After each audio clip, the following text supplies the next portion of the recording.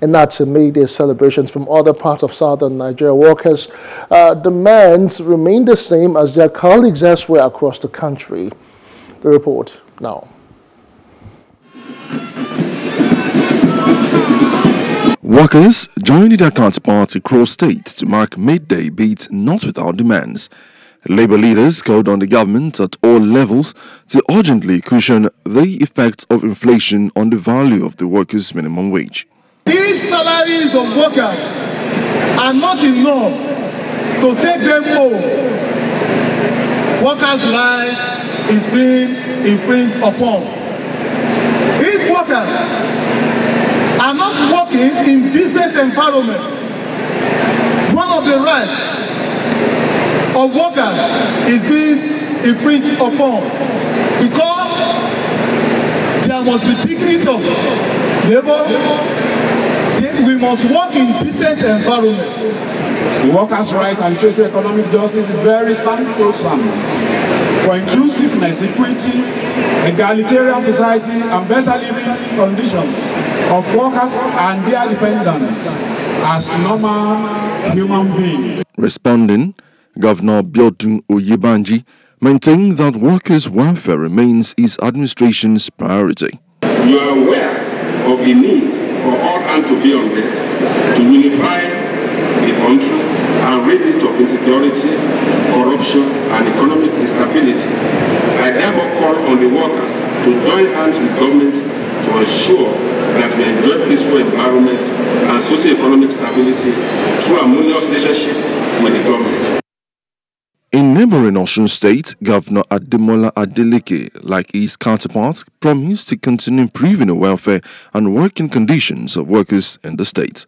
Our administration is focusing on, on workers' welfare because that is the right thing to do. There is no strong link between the former and informal workforce in Osun State. A very happy public service translates into a booming local economy across the state. To address poverty and underdevelopment, the first place to start is positive treatment of public workers. It's not much of agitation for workers as labor leaders lauded the governor for the payment of workers' salaries and other welfare packages. Your Excellency, sir, we cannot but continue to pray for you and support you so that every of, of your good dreams for the worker and the entire citizenry will materialize. Mr. Governor, sir, we celebrate you and appreciate your effort over Osun State workers. But just as human beings are insatiable, we plead that you address our prayers.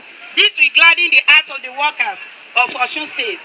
We appeal to Mr. Governor not to relent in his effort at making sure that the workers' salaries, salary arrears, pensions, and gratuity are paid regularly.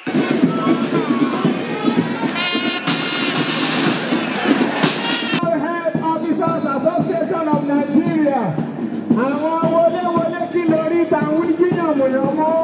After the march past at the MKO Stadium, Kuto Abeokuta, the state capital, Workers who came out in mass urged the government to fulfill agreements in memorandum of understanding signed with them. We are not losing sight of the challenges that stare us in the face, and we are equally not sleeping as we daily rack our brains on our best to bring succor to our suffering colleagues and retirees. We are sure it is just a matter of time as we shall continue to engage the government for more positive impacts.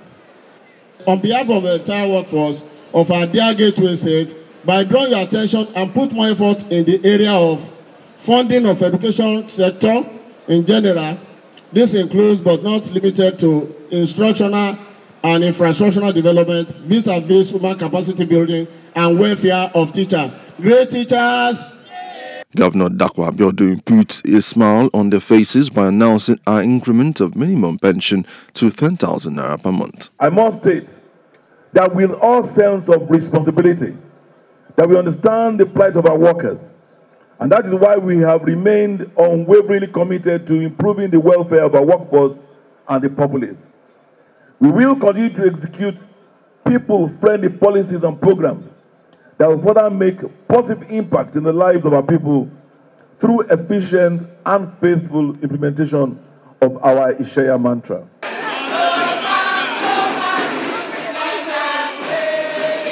The mood is calm and celebratory in Oyo State as message of hope spiced up the day.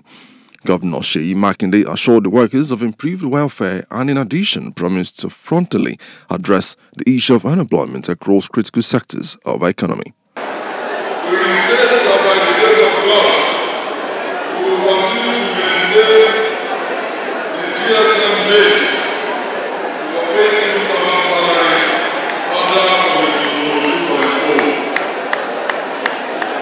Similarly, the leadership of the Nigerian Labour Congress in the states called on the government at all levels to give room for dialogue when issues bordering on the welfare of workers comes up.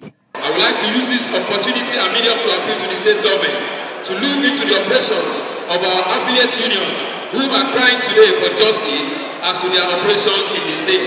We are happy with the renewed relationship that is currently going, going between the park management system and other vehicular and transport union in Oyo State.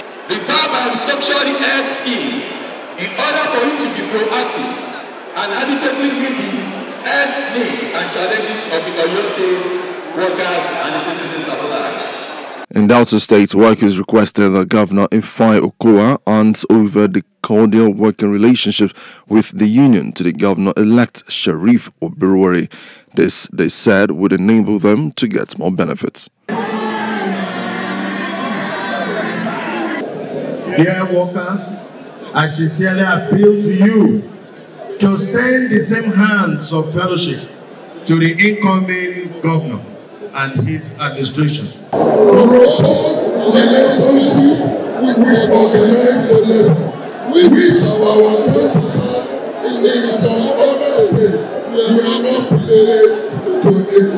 The highlight of the event was the presentation of trophies to winners of the first, second, and third positions in the March past. Hello, hope you enjoyed the news. Please do subscribe to our YouTube channel and don't forget to hit the notification button so you get notified about fresh news updates.